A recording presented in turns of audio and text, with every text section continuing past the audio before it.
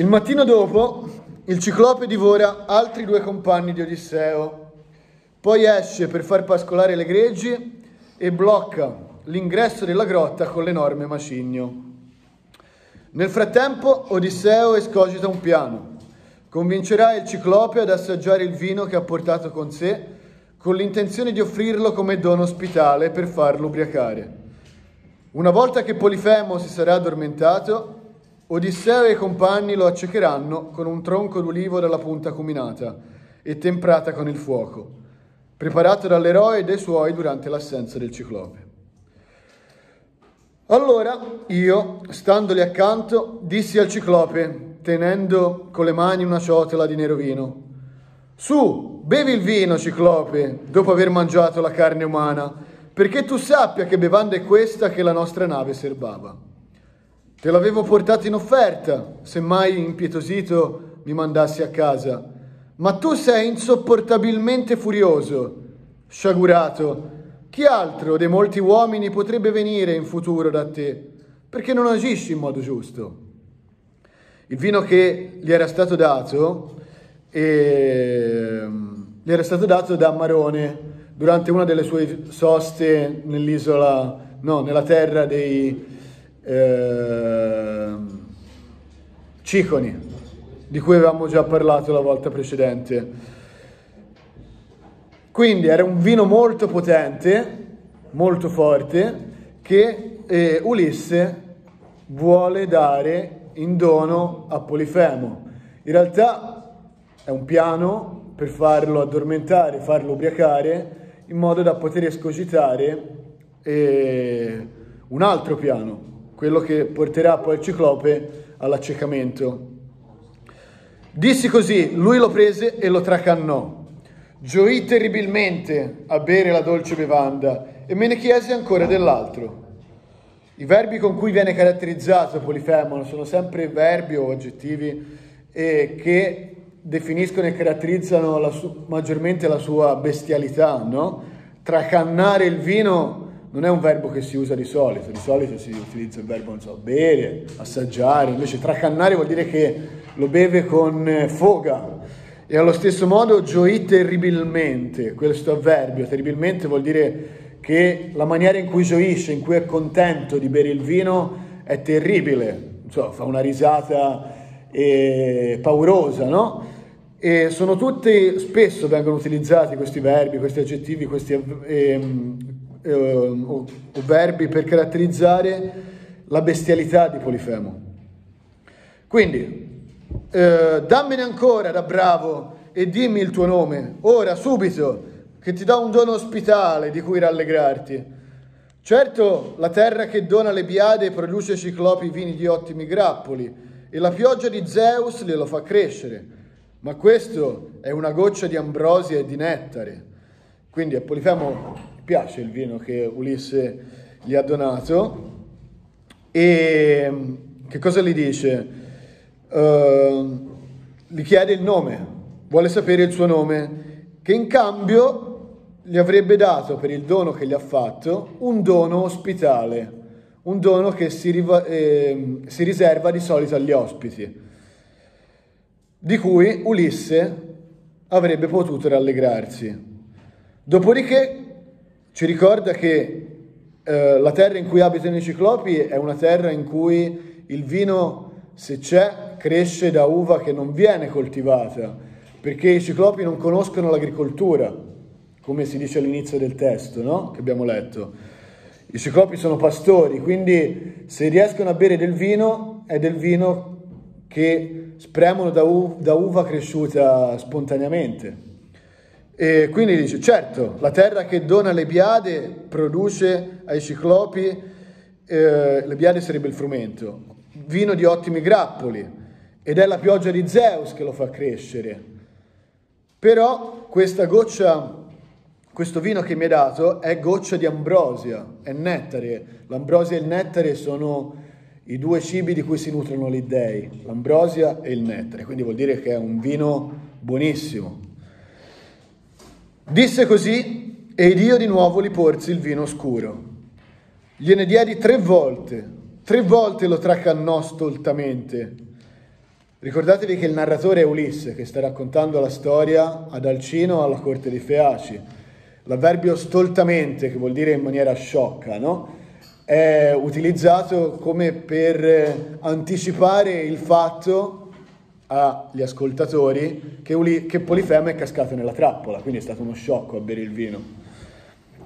Gliel'ha dato per ben tre volte il vino e per ben tre volte lui l'ha tracannato.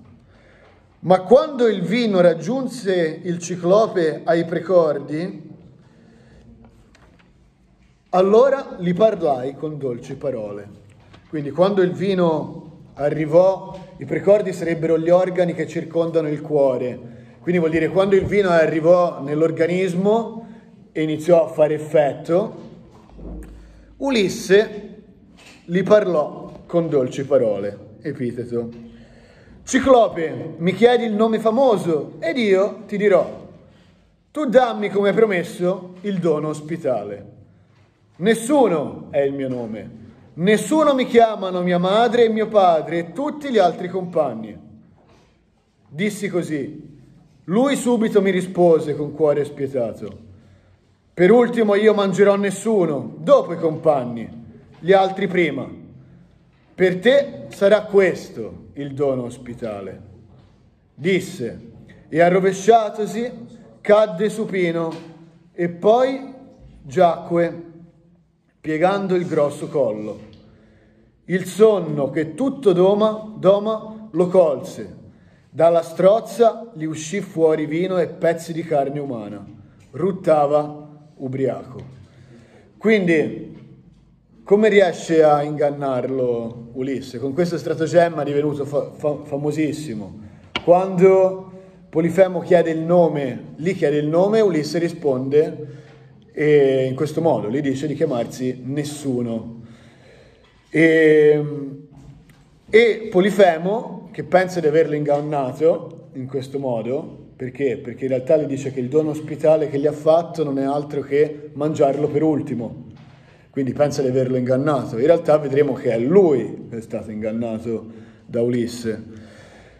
E dopodiché Polifemo viene, eh, continua a essere caratterizzato per la sua eh, barbarie, no?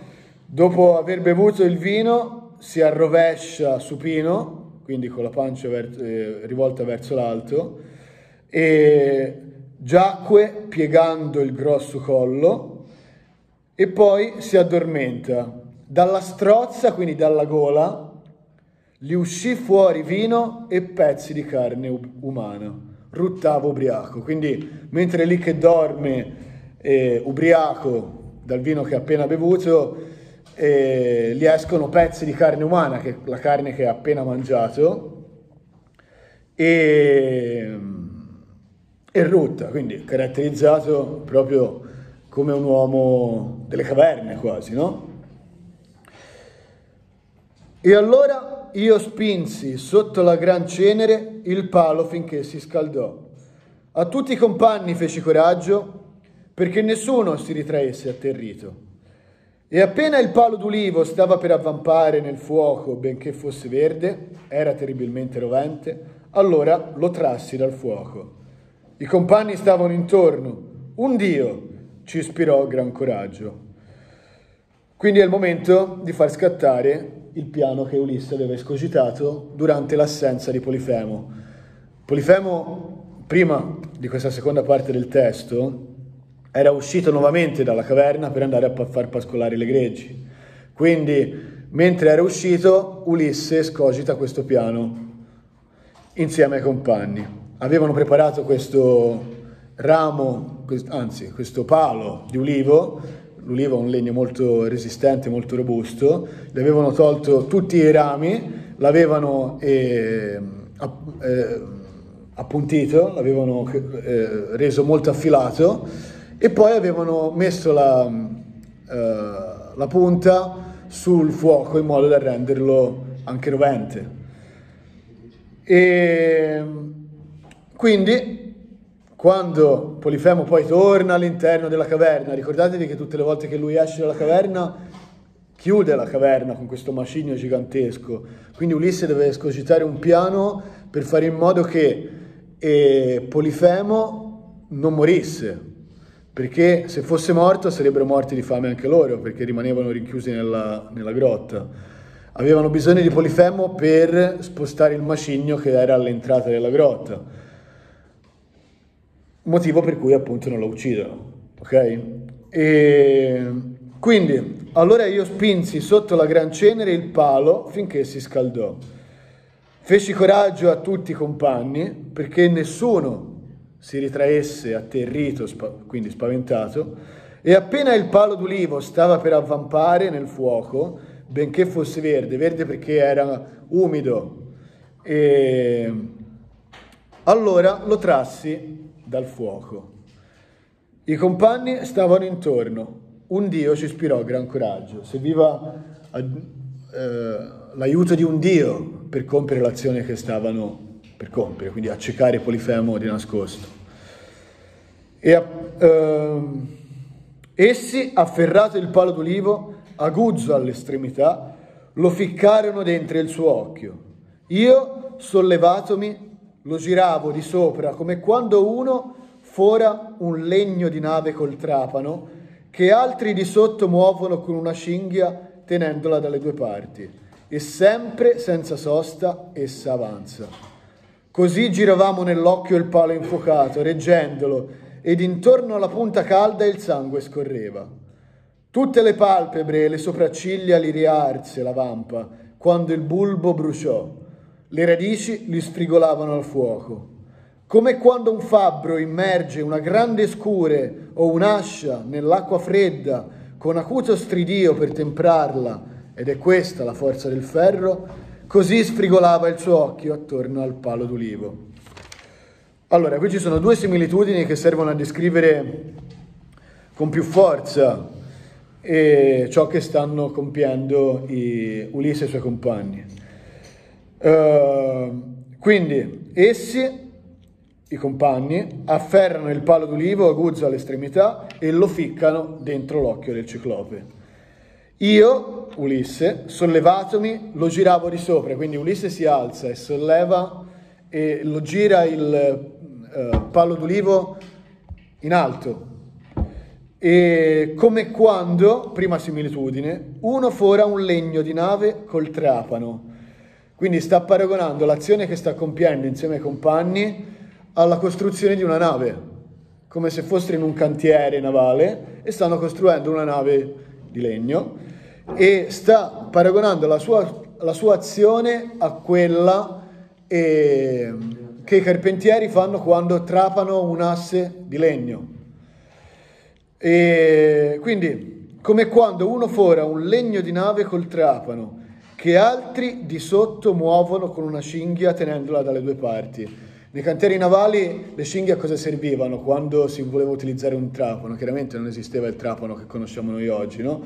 Quindi legavano eh, il trapano, che era un asse di legno con una punta, con una cinghia, e c'erano delle persone ai lati che tenevano la cinghia e lo tiravano da una parte e dall'altra per fare girare il trapano in modo che potesse andare più in profondità. Ok? Allo stesso identico modo, i compagni di Ulisse e stanno girando il palo d'ulivo dentro l'occhio del ciclope.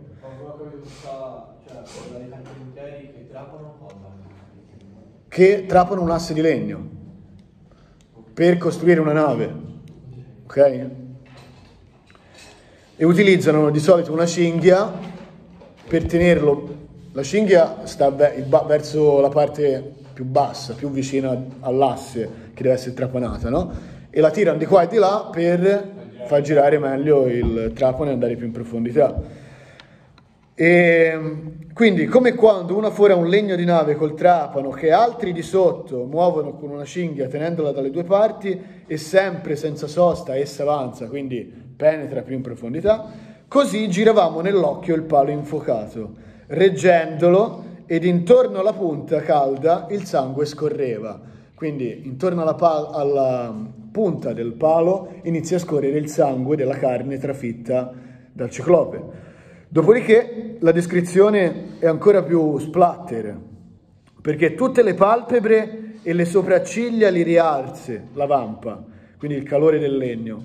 Quando il bulbo bruciò, le radici del bulbo, le radici dell'occhio, li sfrigolarono al fuoco. Sfrigolare è un verbo che di solito si utilizza quando appunto c'è la fiamma, no? Facciamo il barbecue, quando, se, quando sentite il grasso della carne che scende sulla, sulla brace ardente, si dice che eh, sfrigola.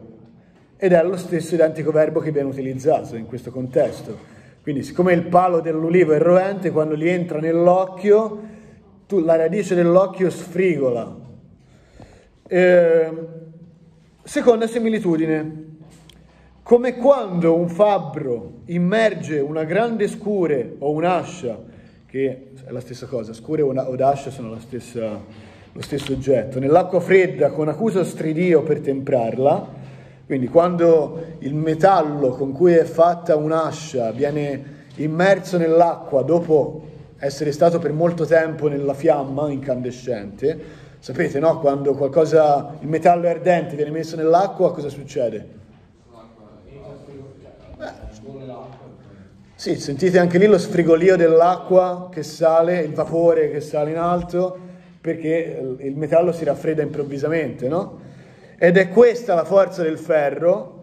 In realtà il ferro non esisteva ancora, questo è un anacronismo dei copiatori. I copiatori che stavano trascrivendo il poema hanno utilizzato metallo, un metallo che loro conoscevano, era il ferro, ma ai tempi di Omero e ai tempi di Ulisse il ferro non esisteva, esisteva solo il bronzo. Ok? Al tempo dei Micenei non esisteva il ferro, quindi è proprio un anacronismo ce ne sono diversi nel poema.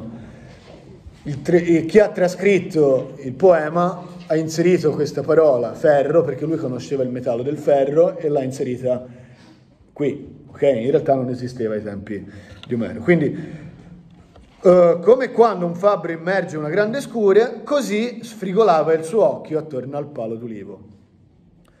Lanciò un grande urlo pauroso, rimbombò intorno alla roccia. Noi atterriti scappammo. Dall'occhio si svelse il palo, sporco di molto sangue. Lo scagliò con le mani lontano da sé, smaniando. Poi chiamò a gran voce i ciclopi che l'intorno in spelonche abitavano per le cime ventose. Quindi appena il ciclope si sveglia dal dolore e urla, lanciò un grande urlo pauroso che rimbomba in tutta la spelonca in tutta la grotta. Noi, quindi impauriti dal fatto che il ciclope si fosse svegliato e urlasse in quel modo, erava, scappammo atterriti. Dall'occhio si svelse il palo, quindi si tolse il palo, sporco di molto sangue. Lo scaglia con le mani lontano da sé. Lo vedete tutti questi verbi che servono a caratterizzare le azioni dolorose e come se fosse quasi impossessato da, da, da follia il, eh, il ciclope, no? scaglia con le mani lontano da sé il palo smaniando, quindi mentre smaniava dal dolore. E poi chiamò a gran voce i ciclopi, ricordatevi che Polifemo non abita da solo, è nell'isola dei ciclopi dove abitano tanti ciclopi, che l'intorno abitavano in grotte, in spelonche, per le cime ventose. Quelli, i ciclopi, udendo il suo grido, arrivarono chi di qua, chi di là, e fermatisi presso il suo antro, chiedevano cosa lo molestasse. Quindi, fermatisi davanti alla sua grotta, gli iniziarono a chiedere che cosa gli desse fastidio, perché lo sentivano smaniare, urlare. Perché, Polifemo, sei così afflitto e hai gridato così nella notte divina e ci fai senza sonno? Forse un mortale porta via le tue greggi e non vuoi? Forse qualcuno ti uccide con l'inganno e con la forza?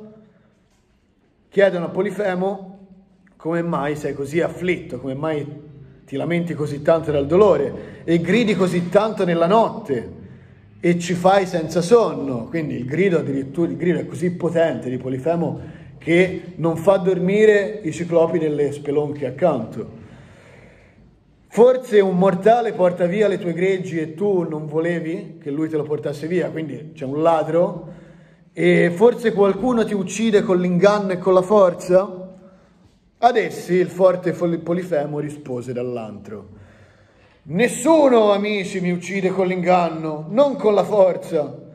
Ed essi rispondendo dissero alate parole. Se dunque nessuno ti fa violenza e sei solo, non puoi certo evitare il morbo del grande Zeus. Allora tu prega tuo padre, Posidone Signore. Quindi, eh, i ciclopi non sono entrati dentro la spelonca, no? sono al di fuori della spelonca che, sono, che chiedono a Polifemo, e anche loro evidentemente urlando, che cos'è che lo sta affliggendo. E adesso, quando gli chiedono chi è che ti fa del male, Polifemo risponde dando il nome di chi secondo lui lo ha accecato. Quindi è la, la trappola che eh, Ulisse aveva innescato prima, adesso scatta, funziona. Perché e se fossero entrati i ciclopi nella caverna, per Ulisse e i suoi compagni non ci sarebbe stato scampo, no?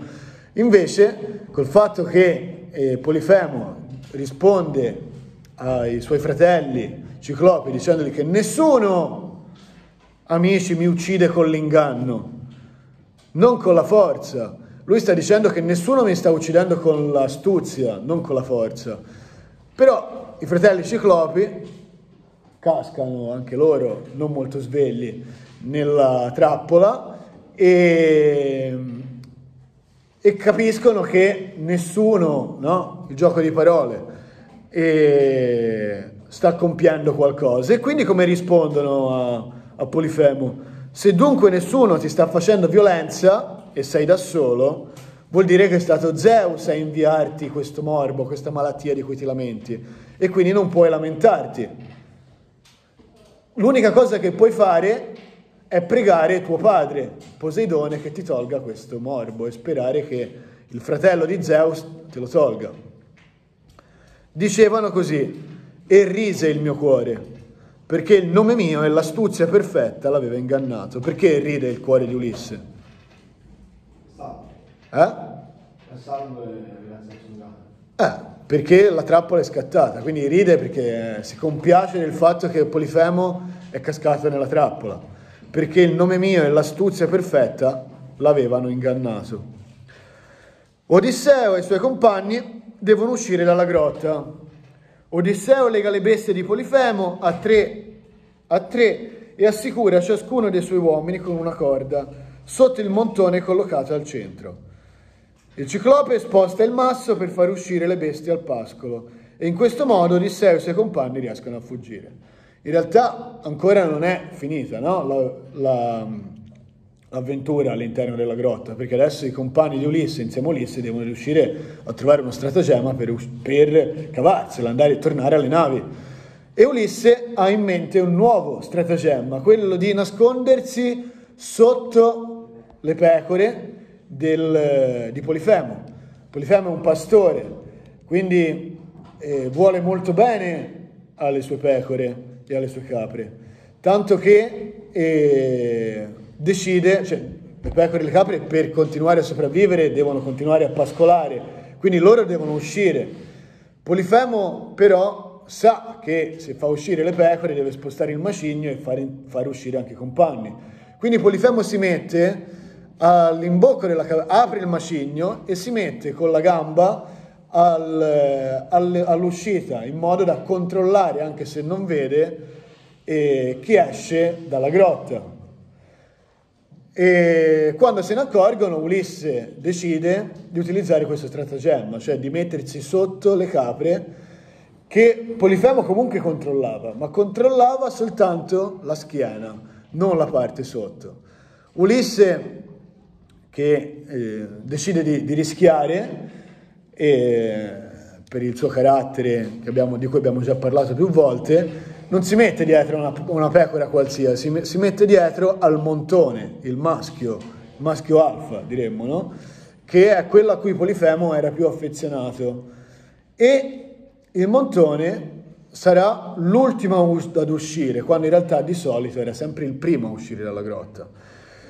Allora, leggiamo perché eh, Polifemo viene caratterizzato anche per un aspetto di cui non ci aspetteremmo da una bestia del genere. Quando mattutina apparve Aurora dalle, ri- dalle rose dita, Allora egli spinse al pascolo le mandrie dei, pas- dei maschi. Le femmine per i recinti non monte belavano. Le loro poppe scoppiavano, infatti. Tormentato da fieri dolori, il padrone tastava le groppe di tutte le bestie, ferme diritte. Lo sciocco non l'aveva capito che gli uomini erano stretti al petto delle bestie lanose. Quindi quando arriva l'alba, quando mattutina apparve Aurora dalle rose e Rita, quindi egli spinse al pascolo le mandri dei maschi. Le femmine eh, belavano non munte per i recinti. Le loro poppe scoppiavano, scoppiavano infatti, sono abituate loro, le, le mammelle delle eh, femmine, ad essere monte, quindi avevano bisogno di essere monte. Uh, tormentato da fieri grandi dolori, il padrone, Polifemo, tastava le groppe di tutte le bestie, le schiene di tutte le bestie, ferme diritte. Lo sciocco, chi è che lo chiama lo sciocco? In che momento? Cosa... Lo sta raccontando la corte di Feaci. E lo sciocco non lo aveva capito, che gli uomini erano stretti al petto delle bestie lanose. Ultimo uscì il montone del gregge, gravato dalla lana e da me con i miei fitti pensieri. Quindi era molto pesante il montone perché era pieno di lana. E, e poi era anche gravato da me e dai miei fitti pensieri. Quindi Ulisse viene sempre caratterizzato perché fitti pensieri cosa vuol dire? Pensieri eh, rigogliosi, no? è un uomo che pensava molto, quindi il montone era aggravato, appesantito sia dalla lana del montone che da Ulisse e dai pensieri di Ulisse. E il forte Polifemo palpandolo disse, caro montone, perché vieni per la spelonca così per ultimo? Prima non sei mai venuto dopo le pecore, ma primissimo correvi a brucare i teneri fiori dell'erba, a gran salti. Per primo raggiungevi il corso dei fiumi, per primo bramavi tornare alle stalle la sera e ora invece sei ultimo. Forse tu piangi l'occhio del tuo padrone? Lo ha accecato un vigliacco coi suoi vili compagni dopo avermi vinto la mente col vino. Nessuno, che penso non è ancora sfuggito alla morte. Ah, se potessi anche tu pensare e parlare per dirmi dove lui fugge dal mio furore. A lui sbattuto qua e là per la grotta, si spaccherebbe il cervello per terra e il mio cuore avrebbe sollievo dei mali che questo nessuno da nulla mi diede. Quindi è un discorso quello che fa Polifemo al montone. Non lo diremmo mai che una bestia del genere, come si è mostrato Polifemo nei confronti di Ulisse dei suoi compagni, un uomo che mangia altri esseri umani, che non è rispettoso nei confronti delle leggi dell'ospitalità, che sono leggi divine, quindi che va contro Zeus, un uomo del genere nutre dei sentimenti così affettuosi nei confronti di un animale, del suo montone, al quale rivolge questa, eh, questa preghiera quasi, no? Caro montone, perché vieni per la spelonca così, per ultimo? Si sorprende del fatto che il montone sia l'ultimo ad uscire. Prima non sei mai venuto dopo le pecore, ma primissimo correvi a brucare i teneri fiori dell'erba. Eri il primo a correre verso i pascoli, a gran salti. Per primo raggiungevi il corso dei fiumi. Per primo desideravi tornare alle stalle, quindi tornare indietro, la sera. E ora invece sei l'ultimo. Forse tu piangi l'occhio del tuo padrone? Quindi si dà questa come motivazione. In realtà il montone esce per ultimo perché Ulisse se l'è tenuto per uscire per ultimo. E forse tu piangi l'occhio del tuo padrone? Lo ha accecato un vigliacco con i suoi vili compagni. È stato un vigliacco ad accecarmi con i suoi vili compagni. Dopo avermi vinto la mente col vino, dopo che è riuscito a ubriacarmi. Nessuno che penso non sia ancora sfuggito alla morte. Ah, se potessi anche tu pensare e parlare per dirmi dove lui fugge dal mio furore. Se tu potessi parlare mi potresti dire dove si nasconde nella grotta Ulisse. A lui sbattuto qua e là per la grotta, si spaccherebbe il cervello per terra e il mio cuore avrebbe sollievo dai mali che questo nessuno da nulla mi diede. Quindi sarei contento di spaccargli la testa sulle rocce di questa grotta se tu potessi dirmi dove si nasconde. Detto così, spinse fuori il montone. Giunti poco lontano dall'antro e dallo steccato, mi staccai dal montone per primo e sciolsi i compagni. Quindi quando furono lontani si staccano dalle, dai petti delle, delle pecore, lui dal montone, e mm, spingemmo in fretta le greggi dal passo diritto, pinqui di grasso, più volte volgendosi, finché arrivammo alla nave. Quindi le greggi di Polifemo non rimangono nell'isola. I compagni di Ulisse, Ulisse se le portano dentro la nave, le rubano proprio. Quindi eh, spingemmo le, le, greggi dal passo diritto, pingui di grasso, belle floride, più volte volgendosi, più volte si girano, finché arrivammo alla nave. Si girano più volte perché hanno paura che Polifemo possa essersi accorto di qualcosa e quindi li stia inseguendo, no? Al nostro apparire i cari compagni gioirono perché eravamo sfuggiti alla morte, ma piansero gli altri.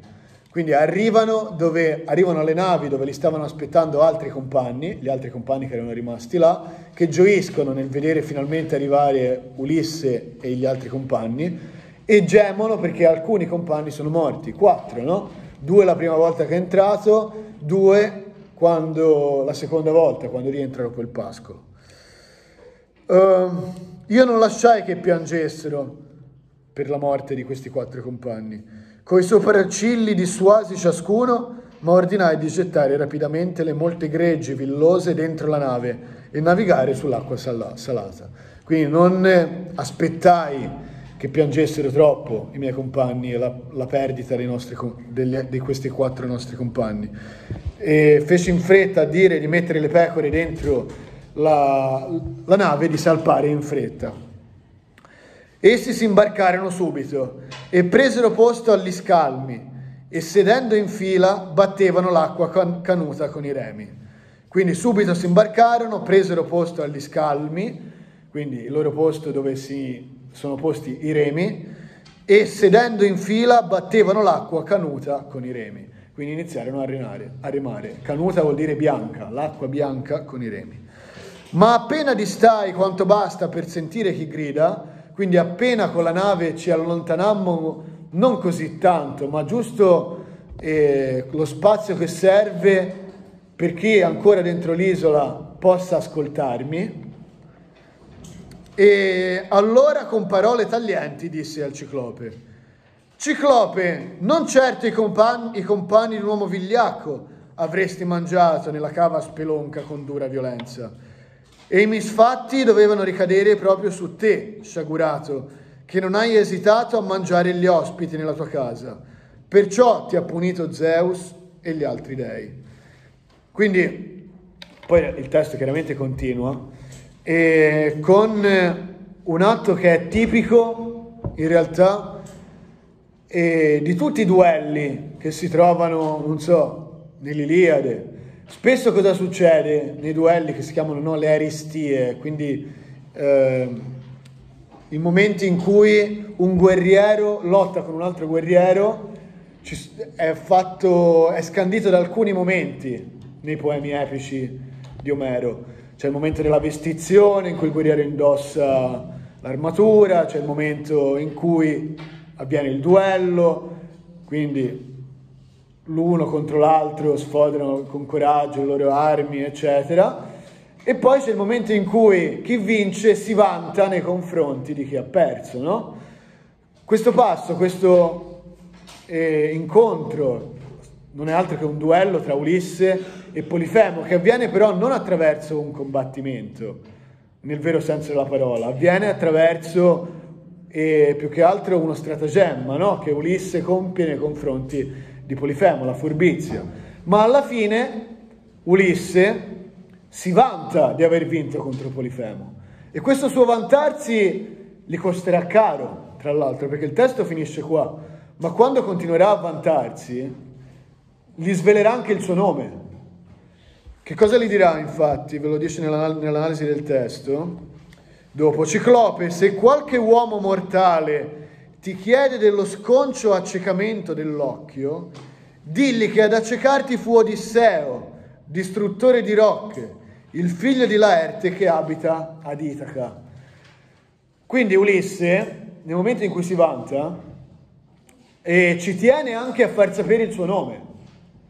E questo gli costerà caro perché? Perché poi Polifemo, una volta saputo il suo nome, e gli dirà, ah, io sapevo che mi era stato predetto che sarebbe arrivato qui un uomo di nome Ulisse che mi avrebbe fatto ciò che tu mi hai fatto, che mi avrebbe sconfitto con la furbizia. Mi era stato predetto. Ma perché gli costerà caro? Perché a quel punto conosce- a quel punto eh, Polifemo, conoscendo il suo nome, potrà maledirlo e maledirà non nessuno questa volta, ma maledirà Ulisse. E infatti sappiamo che Polifemo ha un ruolo centrale nello sviluppo del poema, perché, e infatti non è come gli, altri, come gli altri ciclopi, è caratterizzato con un nome, ha una sua personalità, ha un suo carattere, non è solo un ciclope, ha un nome, Polifemo, no? E perché è centrale nel poema? Perché è, lui che pregando Poseidone scatenerà la rabbia di Poseidone che continuerà ad allontanare Ulisse dalla sua isola. Ok? Perché Poseidone risponde alla maledizione, alla preghiera che Polifemo, suo figlio, gli fa e farà in modo di allontanarlo costantemente dall'isola di Itaca. Ricordatevi che fino a questo momento Ulisse, se non era tornato in patria, non era per causa di Poseidone, era per causa di Atena che ce l'aveva con tutti i greci e che per, a causa del fatto che durante la guerra di Troia era caduta la statua, no? E durante l'assedio, la sua statua. Quindi è fondamentale questo snodo, questo, questo finale del poema per due motivi. Un po' perché viene, viene caratterizzata la personalità di Ulisse che è caratterizzata durante tutto l'episodio, è diventato famosissimo, raccontato più volte, perché, perché? perché Ulisse viene fuori attraverso la sua furbizia, eh, la metis, che in greco vuol dire la furbizia che vince contro eh, la forza bruta, no? la sua, l'intelligenza dell'uomo che sconfigge la forza bruta del selvaggio, del ciclope attraverso più stratagemmi e poi perché Ulisse viene caratterizzato anche però per la sua temerarietà che gli, gli, comport- gli causerà danno. Vantarsi gli causerà tutte le conseguenze che, che poi gli porterà il viaggio, che è ancora molto lungo. Ok? Tra l'altro, ultima cosa, ricordatevi che Ulisse eh, ci è proprio voluto rimanere in quella grotta, nonostante i compagni avessero provato a dirgli guarda che non è caso di rimanere, scappiamo, prendiamoci il formaggio e andiamo via, Ulisse è curioso, vuole rimanere nella grotta e aspettare e di vedere con i suoi occhi chi è il proprietario della grotta e chi è il proprietario delle greggi. E questo causerà la morte dei quattro compagni. Ok? Quindi è diventato così famoso questo episodio per più motivi. E poi un po' perché appunto è l'avventura, no? Anche chiaramente che c'è dietro a tutto l'episodio, ma poi perché viene fuori il carattere e la personalità di quest'uomo, Ulisse. Ok.